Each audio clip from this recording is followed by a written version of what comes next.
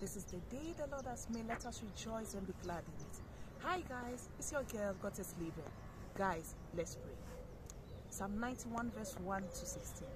He that dwells in the secret place of the Most High shall abide under the shadow of the Almighty. I'll say of the Lord is my refuge and my fortress, my God in whom I trust. Surely he will deliver me from the foulest snare and from the deadly pestilence. He cover me with his feathers, and under his wings I'll find refuge. His faithfulness will be my shield and my heart. I'll not fear the terror of night, nor the arrow that flies by day, nor the pestilence that stalks in darkness, nor the plague that destroys at midday. A thousand may fall at my side, ten thousand at my right hand, but they will not come near me.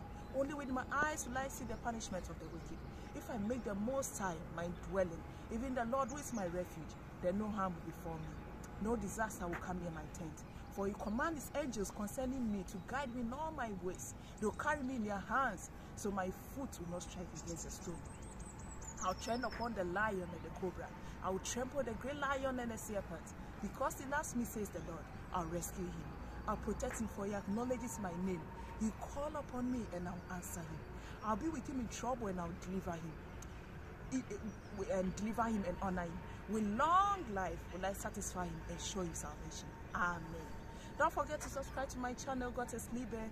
And guys, remember, pray every day, love each other, and stay alive. Love you. Bye-bye.